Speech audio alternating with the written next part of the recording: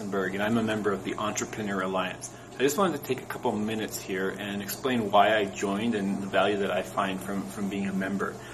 Now, when I joined, um, I saw that uh, Dave Rogenmoser was doing pretty cool things with his own business and all the all the stuff that he was was helping people with entrepreneurially and stuff like that. And I just I like the way that he's very honest with people and very open and giving. And I thought, I thought to myself that if I can align myself with what he's doing, he's going to attract people that are going to be also willing to uh, support people and help people grow. And so that's exactly what I found in the community, and like that's the way that I live my life as well.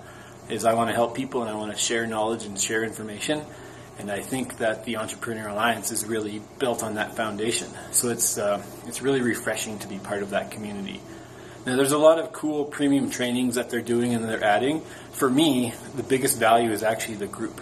I interact a lot in the Facebook group. I get a ton of ideas. Um, sort of when I started, I was kind of in a bit of a transition period in my business. And since being kind of surrounded by some of the ideas and suggestions and just conversation that's been going on in the group, in the Facebook group for Entrepreneur Alliance, I've kind of totally changed directions in how I'm approaching 2017, and things are going to be quite a bit different for me in a positive way. And I'm really excited to work with everybody that joins and work with anybody that uh, that needs any information or help. If I have time to to assist, I'm glad to help. So you can find me in the Facebook group.